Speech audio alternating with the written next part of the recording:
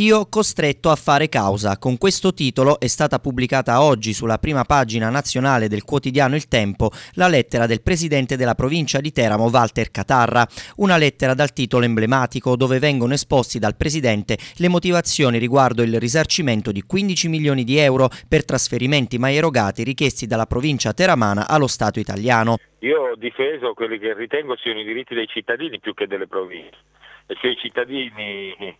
posso, devono, possono avere la possibilità di votare i propri rappresentanti nelle province, possono eh, ricevere quello che lo Stato gli deve. Io parlo soprattutto degli imprenditori, dei fornitori di servizi in generale che per lunghi anni hanno atteso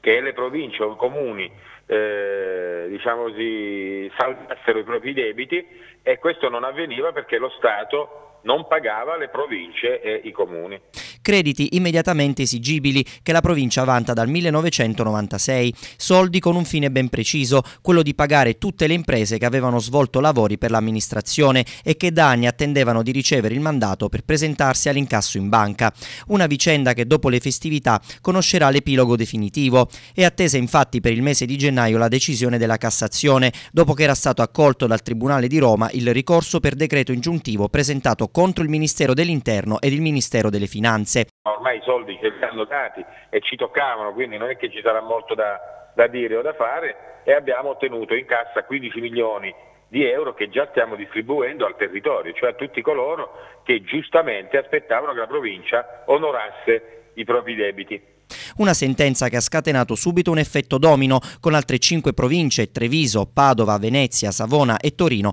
pronte a sfruttarla e a batter cassa per gli arretrati mai pagati. Purtroppo non, eh, non, non, avranno soddisfazione perché nel frattempo il Ministero ha chiuso, ha chiuso le porte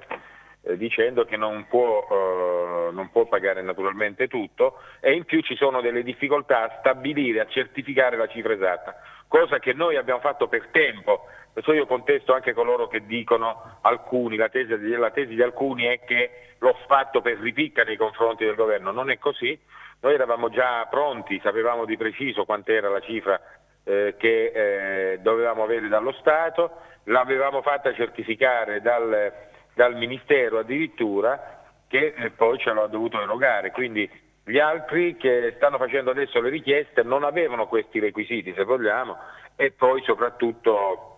il governo oggi non ha più liquidità disponibili e quindi non, non ce la farà a pagare ulteriormente.